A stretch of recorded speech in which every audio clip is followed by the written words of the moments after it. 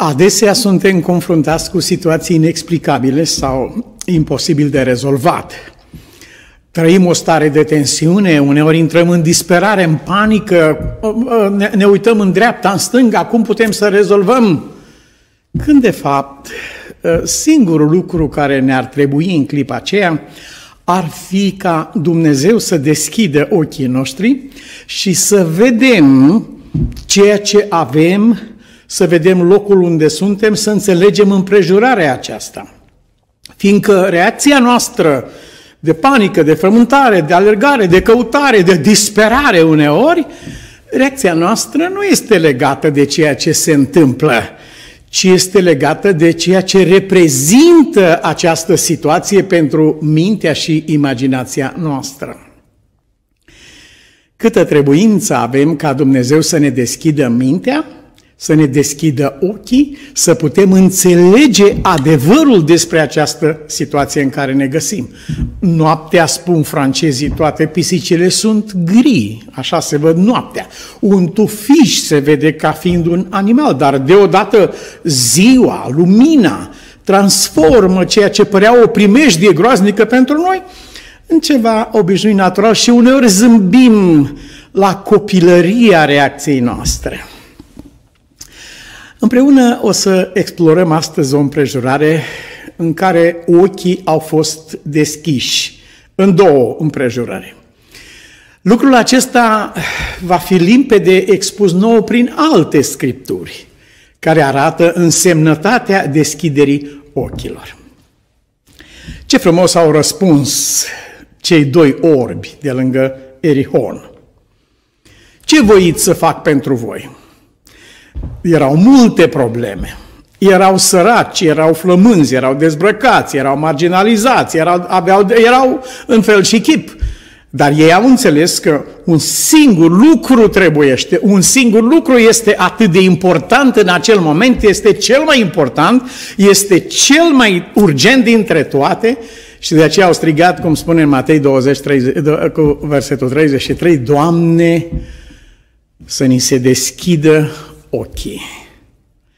După aceea ne vom uita la sărăcia noastră, la suferința noastră, la situația noastră, dar înainte ca ochii să ne fie deschiși, nu putem decât să ne imaginăm situația în care ne găsim. Și ochii au fost deschiși. Rugăciunea aceasta însă nu trebuie rostită doar atunci când trecem printr-o primejdie sau când ne încearcă frica sau disperarea sau suferința de vreun fel sau frământarea sau ci ea trebuiește aplicată și lucrurilor sfinte și binecuvântate, situațiilor de izbândă, de realizare, de reușită în viață. Deschidem ochii, Doamne, să văd ce este cel mai important dintre toate lucrurile uh, asupra cărora trebuie să-mi las sufletul astăzi să se concentreze. Și când ne apropiem de Sfânta Scriptură, rugăciunea aceasta este primordială. În uh, Psalmul 119, uh, versetul 18. Deschidem ochii ca să văd lucrurile minunate ale legii tale. O avem legea lui Dumnezeu, dar dacă nu ne deschide Dumnezeu ochii să privim în legea lui Dumnezeu, vom înțelege puțin. Când au mers spre Emaus, prima grijă a Mântuitorului a fost să predea acestor doi studenți ai Bibliei, oameni de credință care uh, își dedicaseră viața cele mai înalte lumini pe care au avut-o asocierea și umblarea lor cu Isus, ucenicia, cu cel mai mare dintre toți cei care au învățat vreodată cu Domnul însuși. Dar mintea lor, ca și mintea mea, ca și mintea noastră a tuturor, strigă la Dumnezeu după ajutor și Biblia spune Dumnezeu, Domnul însuși le-a deschis mintea ca să înțeleagă Scripturile. De aceea s-a rugat David, deschidem ochii, Doamne, că dacă nu-mi deschizi tu ochii, o să țin Biblia în mână o viață întreagă, o să citesc o viață întreagă și niciodată nu o să văd nimic, pentru că nu am ochii deschiși. Eu am crezut că sunt deschiși. Nu. E mare diferență între a vedea și a avea ochii deschiși de Dumnezeu. Este mare diferență. Deschidem ochii, Doamne, ca să văd lucrurile minunate ale legii tale. Aceasta este și rugăciunea noastră în uh, explorarea uh, pasajului din 2 Împărați, capitolul 6. David scria în versetul 148 din același psalm, o iau înaintea străjilor de noapte și deschid ochii ca să mă gândesc adânc. Deschizi ochii ca să te gândești? Da. Am crezut că tu deschizi ochii ca să vezi. Deschid ochii ca să mă gândesc. Deschidem ochii, Doamne, când gândesc. Altfel, gânduri negre mă frământă. Altfel, gânduri firești, pământești, drăcești, imorale, gândurile. Deschidem tu ochii ca să văd lucrurile lui Dumnezeu în lumina lui Dumnezeu, așa cum sunt ele. O iau înaintea străjilor de noapte și deschid ochii ca să mă gândesc adânc la cuvântul tău.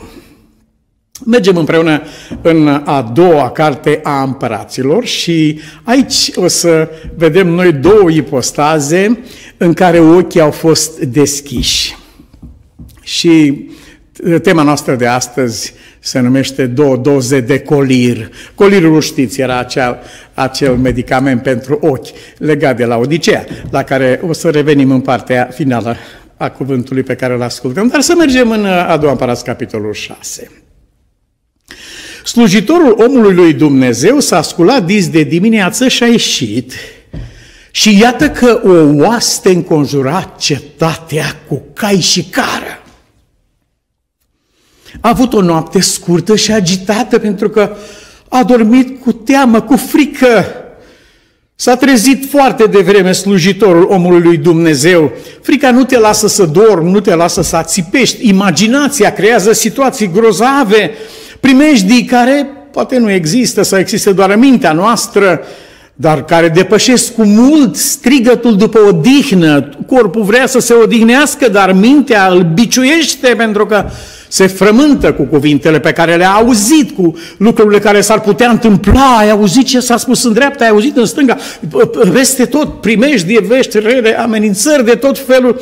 Nu se lipește somnul de ochii lui, se trezește dimineața de vreme și când iese afară, îi se confirmă toate frământările lui, e chiar mai rău decât a crezut el cu imaginația lui așa de afectată.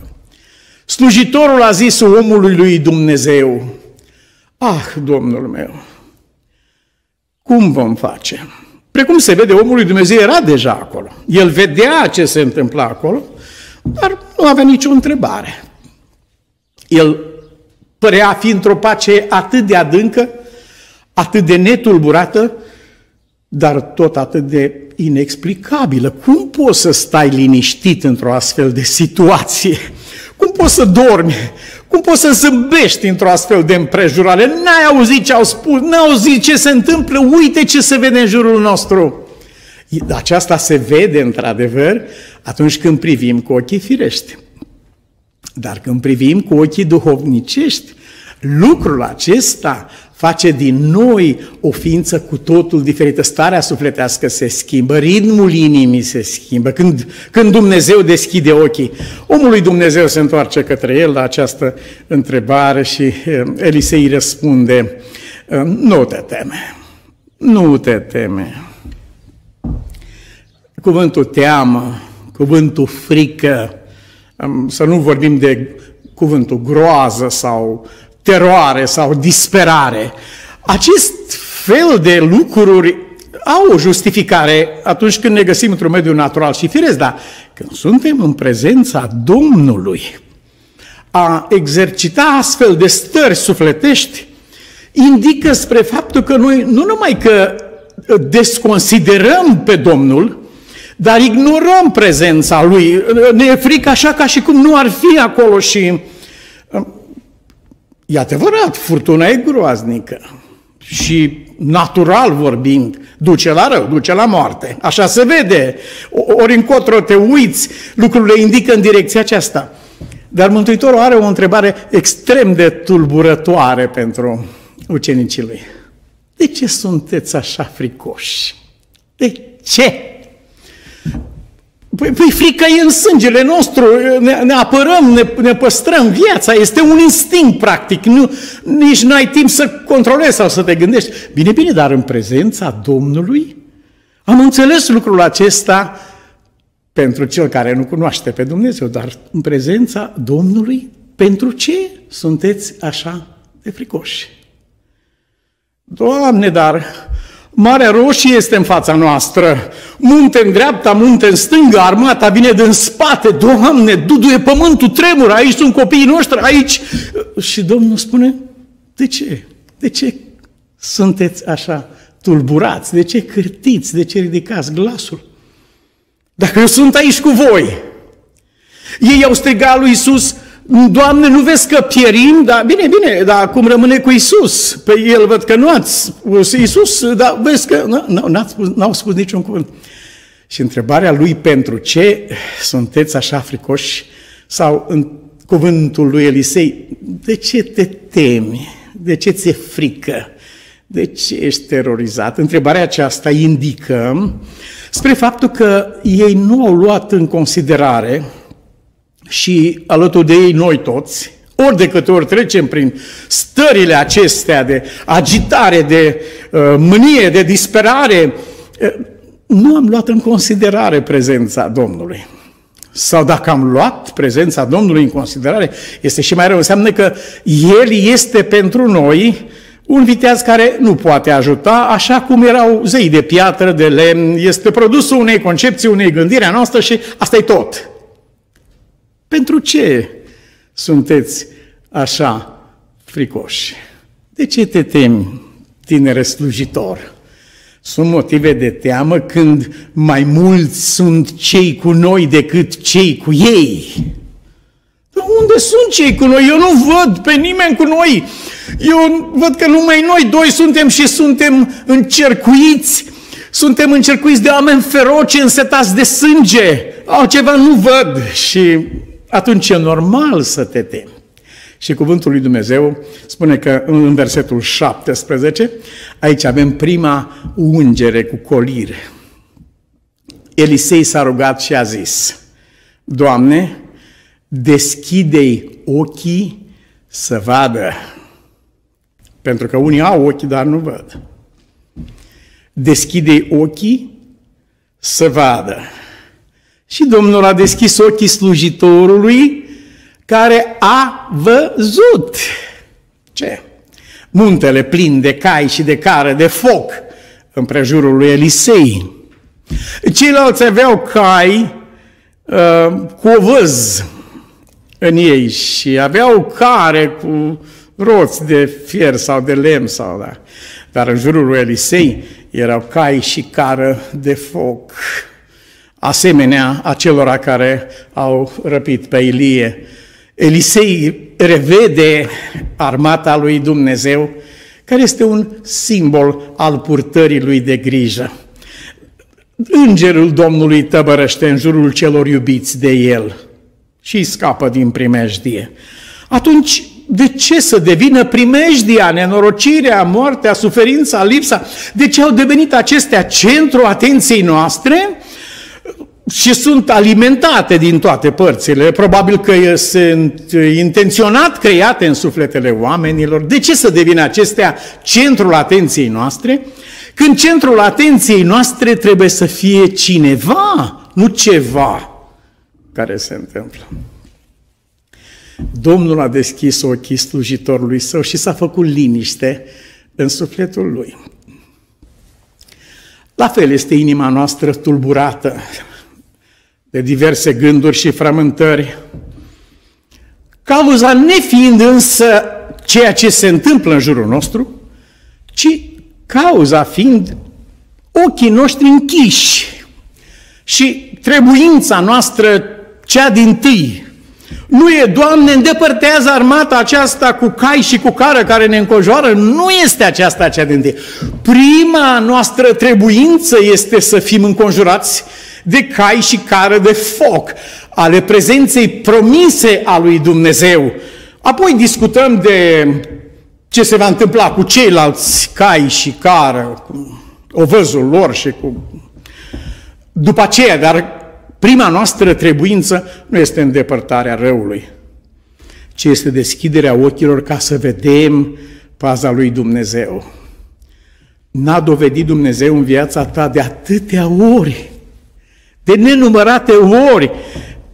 Nu te-a scos Dumnezeu din primejdie, nu te-a izbăvit Dumnezeu de la moarte. Asta e ceea ce știm, dar ceea ce nu știm este, e cu mult dincolo. Dacă am putea să vedem și să știm ce nu știm și să vedem ce n-am văzut și nu vedem, fără îndoială că am gândit cu totul și cu totul la fel, dar aceasta depinde de răspunsul pe care îl dăm la întrebarea lui Isus, ce voiești să-ți fac? Dacă ar fi fost întrebat Gehazi lucrul ăsta, primul lucru ar fi spus, Doamne, îndepărtează de asta de la noi, îndepărtează pe oamenii ăștia, dă-le de lucru, trimite-i în altă direcție. Domnul a fi spus, nu este prima ta trebuință aceasta. Prima ta trebuință este să-ți fie deschis ochii ca să vezi pe Dumnezeu și să vezi ce face Dumnezeu pentru tine și să vezi cum cuvântul lui Dumnezeu este viu și lucrător și se împlinește chiar în clipa aceasta, în timp ce uh, oamenii aceștia desfășoară cai și cară acolo. Aceasta a fost cea din tâi deschidere a ochilor. Avem trebuință, atât uh, confruntați cu lucrurile rele, cât și în perspectiva celor bune și frumoase. Avem trebuință să ne rugăm lui Dumnezeu și să-i cerem întotdeauna, deschidem ochii, Doamne, ca să văd ceea ce n-aș putea vedea fără ajutorul Tău. Cei doi au răspuns ce de ori vrem să ni se deschidă ochii.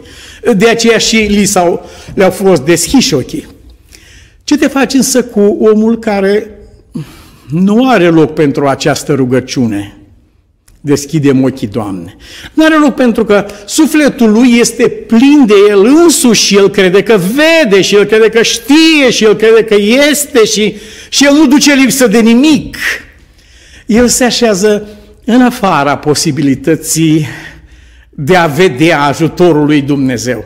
Și el trăiește această spaimă și această groază a confruntării cu răul și el trăiește această pierdere a ocaziei întâlnirii cu binele pentru că nu se roagă deschidem ochii, Doamne.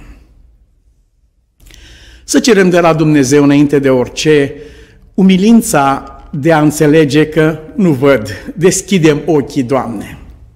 Știți acel atât de frumos uh, pasaj în care se spune despre Solomon că el nu a fost niciodată cu adevărat mare, ca atunci când a zis, Doamne, sunt un copil, nu înțeleg, deschide mintea, deschide, ajută-mă, fă-mă să înțeleg, fă-mă să pricep. Adesea nu înțelegem anumite lucruri sau pricepem anumite lucruri și ne umplem de mândrie, fiindcă aproapele nostru nu înțelege și nu vede ce vedem noi și ce știm noi. Dar dacă am vedea ce drum lung este de la ceea ce știm și vedem până la ceea ce am putea ști și putea vedea, dacă ne-ar deschide Dumnezeu ochii. Dar acest lucru nu vine la noi impus de Dumnezeu în vreun fel sau altul, ci El vine la noi ca o rouă binefăcătoare și ca răspuns la rugăciunea pe care Bunul Dumnezeu o primește cu mare dragoste. Eram în prezența unui profesor și tocmai încheiasem predica pe care am avut-o la universitate cu studenți, cu profesori și ies spre curte. La ușă mă așteaptă dumnealui și cu o expresie atât de scurtă, atât de neașteptată, atât de rapid, aș zice, mă fixează și îmi spune, dă-mi un singur argument să devin adventist de ziua șaptea. Uh, n-am avut timp să respir, dar mulțumesc lui Dumnezeu că am avut clipa aceea dăruită de El, să-mi îndrept privirile spre El și să-mi deschidă mintea, că nu am timp, când am, nu am timp să studiez acum repede, cum pot să răspund, să dau un singur motiv suficient de puternic cuiva să devină creștin. Și atunci mi-a venit pe loc în minte și am spus, domnul profesor, conceptul adevărului prezent Uh, present truth, acesta ar putea să te determine pe tine să devii un creștin, cum ai cerut. S-a întors pe mine și a spus, what's that? Ce, ce e aceea present truth, adevăr prezent? Și am explicat faptul că adevărul prezent nu înseamnă un set de reguli turnate în beton, ci înseamnă o progresie a adevărului. Și I told, i-am spus, Adventism is not a monument, is a movement. Atât a fost de um, plăcut impresionat, că mi-a spus niciodată nu mi-aș fi imaginat că voi aveți un astfel de concept al adevărului prezent.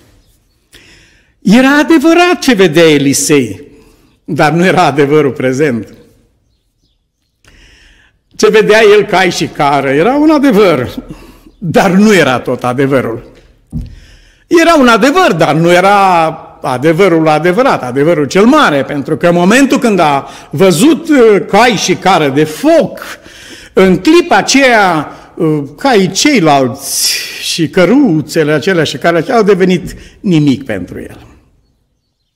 Totul s-a întâmplat însă pentru faptul că Dumnezeu i-a deschis ochii. Poate ne întrebăm, de ce nu deschide Dumnezeu ochii atâtor oameni care sunt în această situație? Iacov a plâns aproape 20 de ani pe băiatul lui Iosif și a spus, Plângând mă voi coborâ în mormânt la fiul meu. Voi plânge până voi muri. Nimic nu, nici nu mă poate mângâia, nimic sub ceruri. Nimic nu poate să înlocuiască lipsa fiului meu, care a fost sfâșiat de fiare. Negreșit, spune el, adică nu mai e loc de altă posibilitate, de altă opțiune. Negreșit a fost sfâșiat de fiare.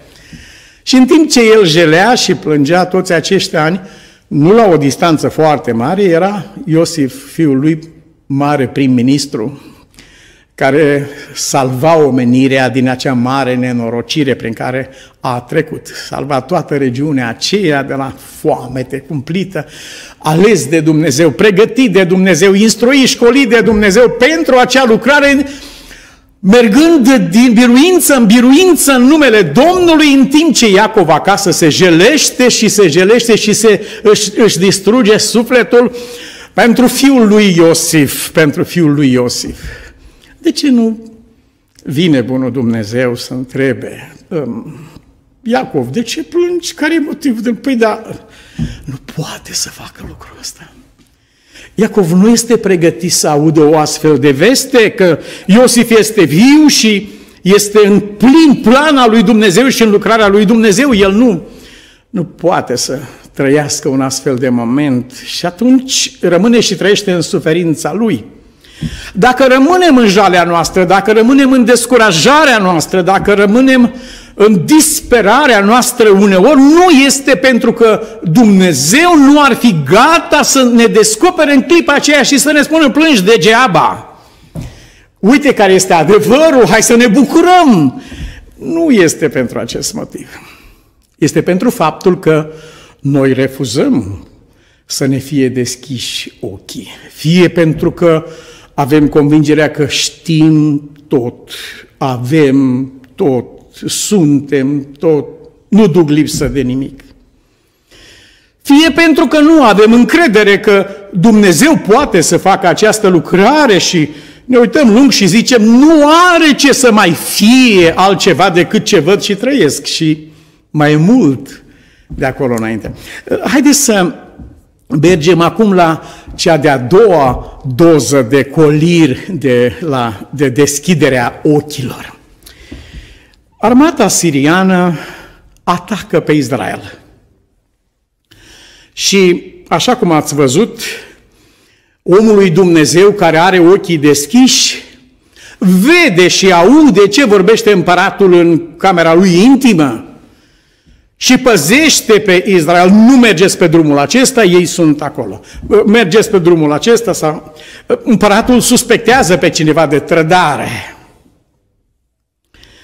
Unul dintre consilieri spune nu, spune, nu e vorba de niciun fel de trădare, este vorba de un om care are un dar paranormal și tot ce vorbești și gândești în, în camera ta intimă, în, unde tu dormi, e, omul ăsta știe deja. Și din cauza lui, totul vine de aici. Uitați-vă cât de nebun, nebunul zice în inima lui nu este Dumnezeu. Aș putea folosi și al doilea cuvânt. Cât de subțire pregătit poate fi un om. Când aude așa ceva, crede. Așa este, asta e singura explicație. Atunci spune el, aflați imediat unde este, mobilizăm armata și mergem să-l arestăm pe omul ăsta. Păi bine, bine, nu înțelegi, n-am vorbit noi acum, că el, el aude ce vorbește acum. Cum poți, să, cum poți să-l prinzi sau să-l găsești pe omul care știe ce gândești, știe, aude ce vorbești? Îi deschide cineva urechile să audă, îi deschide cineva ochii să vadă. Nu vede nimic. Ce orbire! Ce ciudată orbire! Soția lui Roboam vine să întrebe pentru copilul ei dacă va trăi sau nu. Care mamă nu ar vrea să știe lucrul ăsta și nu se frământă iar de sufletul în ea e copilul ei care... Și merge la prorocul Abia, care avea cornea opacă, nu vedea nimic, dar avea ochii deschiși de Dumnezeu și vedea și auzea tot și se deghizează la sfatul soțului ei care are o părere atât de proastă și de joasă cu privire la Dumnezeu, încât crede că poate fi dus cu aparența, dacă se schimbă cineva hainele, Dumnezeu nu-l mai cunoaște. Un astfel de crez cu privire la Dumnezeu produce o astfel de viață ca aceea lui Eroboam. Mă adresez unei audiențe informată în domeniul acesta. Și femeia aceasta își schimbă hainele și merge să întrebe pe prorocul Abia ca și când ar fi un cetățean, o mamă oarecare din Israel, frământată cu uh, boala și suferința și perspectiva morții copilului ei. Abia spune slujitorul, vedeți că vine. A venit și când s-a apropiat și a încercat să întrebe și să se prezinte, să se dea drept altcineva, prorocul îi spune, intră soția lui Roboam, tu nu ești oricine, știu cine ești, știu unde locuiești, știu tot, știu cine ești. Mi-a deschis Dumnezeu ochii și am văzut, mi-a deschis urechile, mi-a deschis mintea și am prins lucrul ăsta și știu cine ești. Intră soția lui Roboam. Și când a intrat ea acolo, prorocul Abia i-a predat adevărul. Și a fost un adevăr pe care l-am transmis mai departe în diverse împrejurări, dar mai ales în împrejurări în care cineva iubit din familie a plecat dintre noi. Răspunsul lui abia. Când te vei întoarce în cetate, copilul va muri pentru că este singurul în care s-a găsit ceva bun. De aceea va muri, nu pentru că s-a găsit ceva rău în el, ci pentru că s-a găsit ceva bun și Dumnezeu îl pune deoparte. Asta e tot. În același fel, împăratul Samariei trimite pe unul să prindă pe omul care știe și aude și vorbește. Aici duce nebunia omului. Când uh, au ajuns acolo și au înconjurat cetatea, Elisei s-a rugat la Dumnezeu să fie protejat de ochii acestor însetați de sânge și a fost protejat. Ei nu numai că nu l-au cunoscut, dar au căpătat o așa încredere în el încât uh, au ascultat comenzile lui. Veniți pe aici, spune el. Și îi conduce în mijlocul cetății pe care o atacaseră ei, cu alte cuvinte, îi conduce direct în cursă sau în capcana aceasta, în, în încercuirea aceasta și acolo înalță Elisei cea de-a doua rugăciune, cea de-a doua, aplică cea de-a doua doză de coliri, Dumnezeu aplică cea de-a doua doză de coliri la rugăciunea lui, care spune, Doamne, acum te rog, deschide ochii oamenilor acestora, versetul 20, deschide ochii oamenilor acestora să vadă Domnul le-a deschis ochii, nu Elisei. Domnul le-a deschis ochii și au văzut că erau în mijlocul Samariei. Aceasta este cea de-a doua ungere cu colir. Cea din tâi este, deci, în care Dumnezeu deschide ochii și ne ajută să vedem binele și cea de-a doua este când El ne deschide ochii și ne ajută să vedem răul pe care am vrea să-l comitem. Deschide, deschide ochii acestor oameni să înțeleagă, să vadă, să creadă, să ia contact cu realitatea asupra ceea ce ei fac. Și deodată s-au pomenit acolo înconjurați și au fost confruntați pe loc, nu cu un măcel, cum propunea un frate, ci au fost confruntați cu un prânz mare, cu mâncare bună. Probabil cineva a cântat frumos la acel prânz, cu o bunătate și o amabilitate, cum numai Domnul Isus Hristos ne-a arătat pe pământul acesta. După care Biblia spune că oamenii aceștia au plecat și nu s-au mai întors niciodată. Sunt deci două instanțe în care Dumnezeu unge ochii noștri cu colirul acesta al Duhului Sfânt. Unul este ca să vedem binele pe care Dumnezeu îl are în cuvântul Lui și în viața noastră, pretutindem și în lumea în care ne mișcăm. Și al doilea este să vedem răul în care riscăm să înaintăm și de unde e posibil să nu ne întoarcem. Deschide ochii acestor oameni ca să înțeleagă răul pe care sunt gata să-l facă. În încheiere, e vorba despre noi. Știu faptele tale, știu situația ta.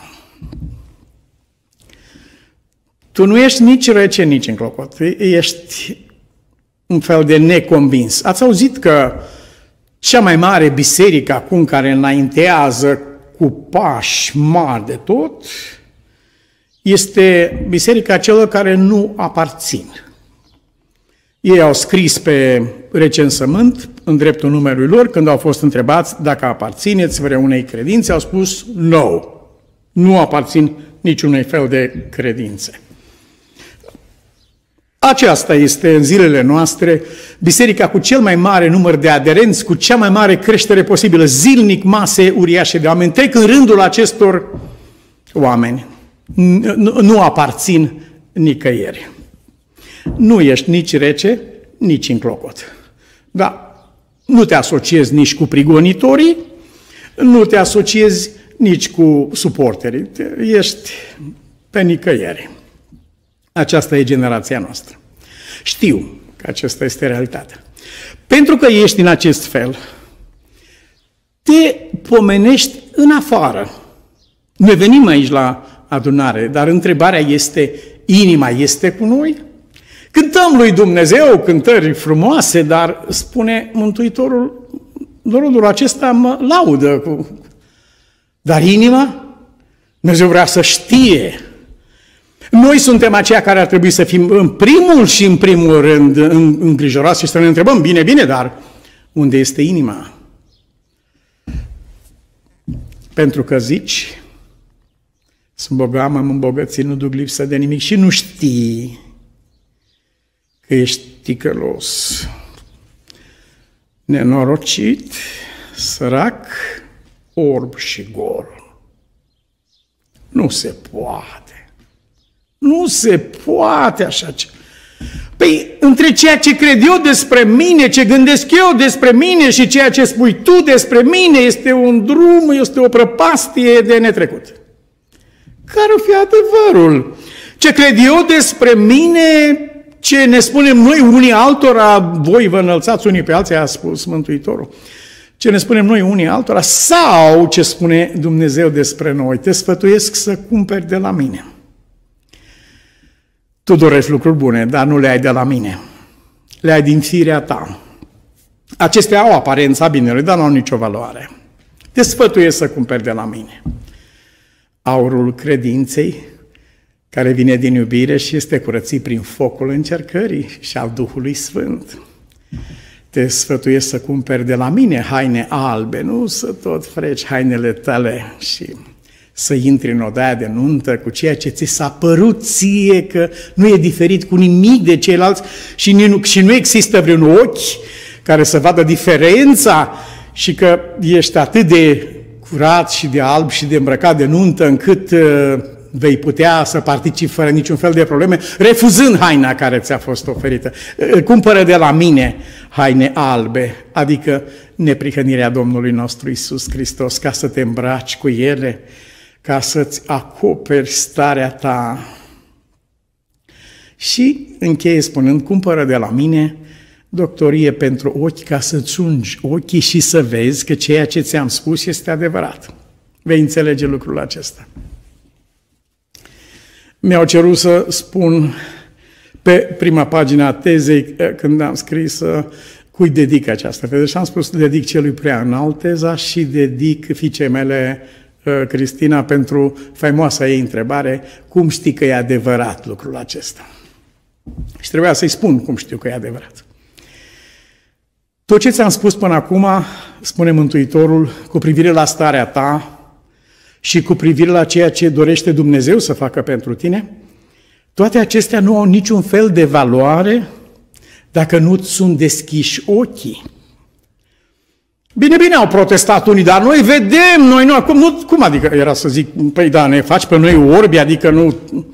Și Isus a spus, dacă ați fi orbi, nu ar fi niciun fel de vină în dreptul vostru, pentru că sunteți orbi. Dumnezeu înțelege și vede bine lucrul ăsta, dar voi spuneți, vedem?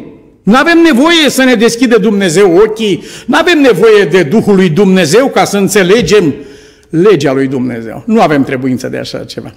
Păcatul vostru rămâne. Nu puteți fi ajutați în situația în care spuneți, nu, noi nu suntem, noi nu avem trebuință de așa ceva.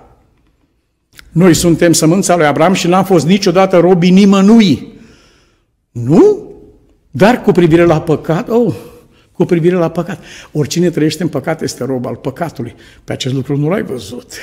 Te-ai uitat la roman, la sirien, la vecin și nu te-ai dat prins niciodată, nu te-ai dat niciodată, dar n-ai știut că de fapt ești prins deja, ești captiv deja, rob al păcatului.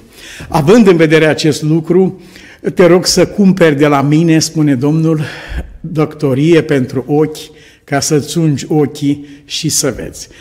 Nu, nu te supăra și nu te considera pedepsit, mustrat sau... Nu, eu, uh, eu mustru și pedepsesc pe cei pe care îi iubesc. Bucură-te că s-a întâmplat așa. Cineva m-a oprit la ușa bisericii și mi-a zis foarte mâniat că uh, a înțeles din predica mea că eu aș fi vorbit de, pers- de persoana aceasta.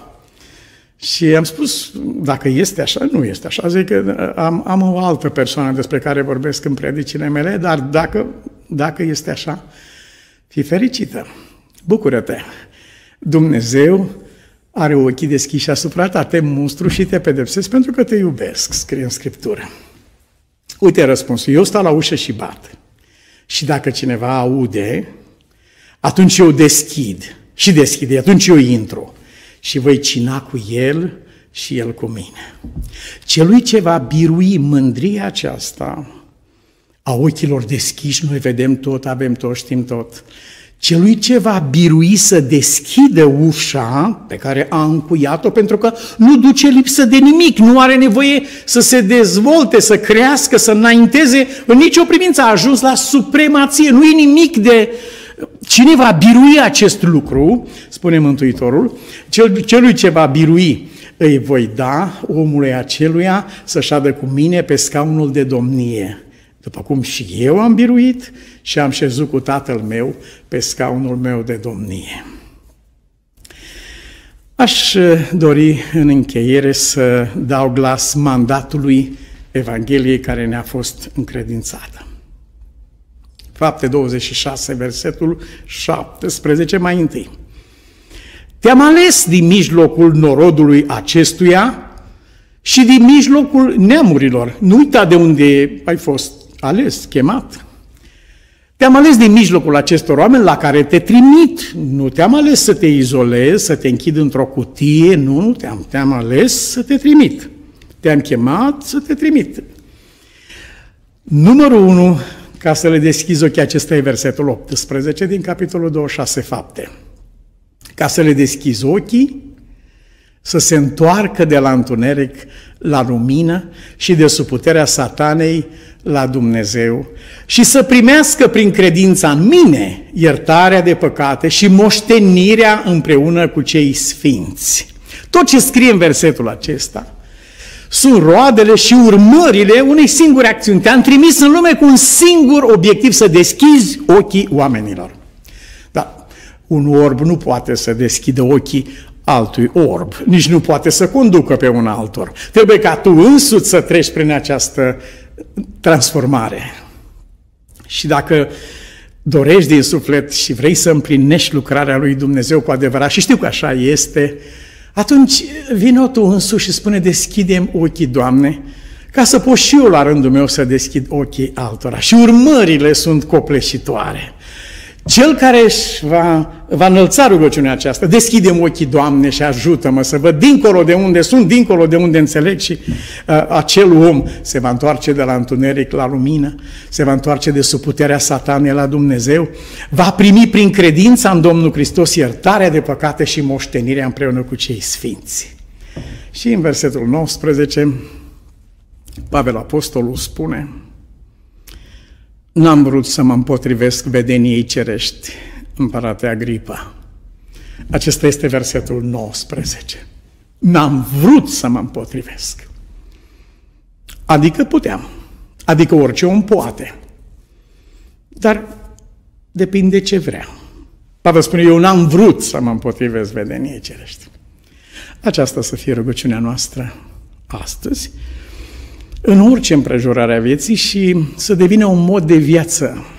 Ridicăm întotdeauna ochii spre Dumnezeu, ca El să ne deschide ochii, să vedem în ce se întâmplă în jurul nostru astăzi, nu ce vede lumea din jurul nostru. Cai care au mâncat o văz și cară. Ci să vedem în jurul nostru caii de foc, carele de foc, care înconjură pe Dumnezeu. Nu să ne temem ca slujitorul lui Elisei ei tremură, ci să fim cu acea deplină pace în suflet pe care o are Elisei și care spune nu te teme. Mai mulți sunt cu noi decât cu ei. Tată, în numele Domnului Isus, îți mulțumim pentru cuvântul Tău, Doamne, și fă să nu uităm niciodată, niciodată să nu uităm Totdeauna să dorim în adâncul sufletului nostru ca Tu să deschizi ochii noștri, Doamne. Să cerem aceasta în și prin rugăciune și să faci, Doamne, ca ochii aceștia pe care i-ai deschis Tu să ajungă să vadă frumusețea Ta, Doamne, în slava Ta nemăsurată, așa cum ai promis slujitorilor Tăi. Învață-ne, te rugăm și pregătește-ne pas cu pas Deschide și ochii copiilor noștri, ale familiilor noastre, ale adunării întregi, ale oamenilor din jurul nostru. Deschide Tu, Doamne, ochii celor care sunt astăzi în întuneric, ca să vină la lumina Ta minunată. În numele Domnului Isus, amin.